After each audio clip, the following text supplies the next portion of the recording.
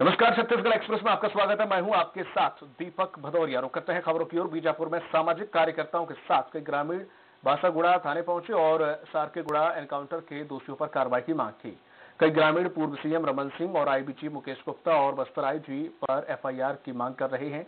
थाने में ग्रामीण रघुपति राघव राजाराम के गीत गाते हुए और सूत काटते हुए धरने पर बैठ गए। आपको बता दें कि सारकेगुड़ा फर्जी एनकाउंटर में 190 जवानों को दोषी ठहराया गया है। पूर्व मुख्यमंत्री रमन सिंह सहित सात लोगों पर नामजद एफआईआर कराने थाने पहुँचे हैं। और उनके साथ सामाजिक कार्यकर्ता हिमांशु कुमार जी हैं और ग्रामीण पहुँचे हैं। आप मेरे पीछे देखिए।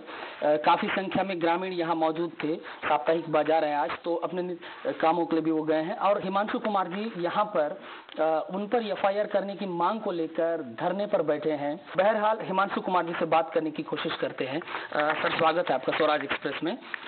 आज आप सारकी कल आप सारकीगुड़ा पहुँचे थे, आप रुके थे रात्रि विश्राम यहाँ आपने किया था। आप ग्रामीणों के साथ थाने पहुँचे हैं। अधिकारियों से आपने बात की है। क्या कुछ बात रही?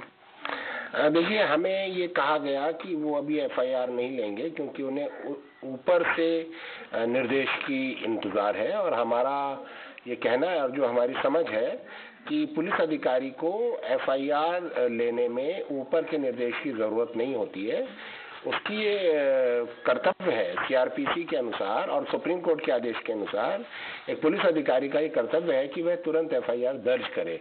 वह सच्ची है सूचना या असत्य है इसका फैसला कोर्ट को करना है।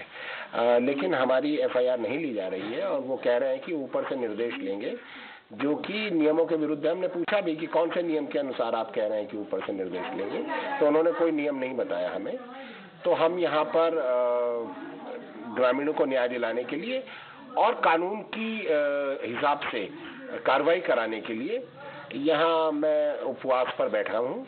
और जब तक ये एफआईआर दर्ज नहीं होगी हम यहाँ बैठे रहेंगे। चूँकि न्यायिक जाँच में जो दोषी है उनको उनके बारे में स्पष्ट तौर पे कहा गया है। तो आप एक पिटीशन सुप्रीम कोर्ट में दाखिल कर सकते थे। क्या उस पर आप लोग विचार करेंगे? पिटीशन जो है वो जाएगी कंपनसेशन के लिए उनको मुआवजे के लिए लेकिन जिन लोगों को दंड दे अगर सजा दिलवानी है तो वो तो पुलिस एफआईआर से ही होगी क्योंकि दंड प्रक्रिया जो है वो पुलिस को ही करनी पड़ती है।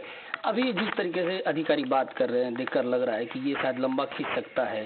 तो अगर यदि एफआईआर लगने दर्ज होने में कुछ दिन लगते हैं तो आपका आंदोलन कितने दिनों तक चले? क्या ये अनिश्चितकालीन बहुत लंबा चल सकता है? हाँ क्यों नहीं चल सकता? मैं तो मरने के लिए तैयार हूँ मेरा प्राण चले जाए इसमें मैं हटूँगा नहीं यहाँ से। चा, चाहे इसमें कितना भी वक्त लगे। हाँ तो ये थे हिमांशु कुमार जी जिनका साफ़ तौर पे कहना है जो पीड़ित थे उनकी लड़ाई वो लड़ रहे हैं उनके न्याय की लड़ाई लड़ रहे हैं। और वो यहाँ अनिश्चितकालीन हड़ताल पर तब तक बैठे रहेंगे जब तक जो सात लोगों के खिलाफ नामजद एफ़ आई करने की जो प्रक्रिया है यहाँ पूरी नहीं की जाती है। इस वक्त बासागुड़ा थाने से पवन दुर्गम स्वराज एक्सप्रेस।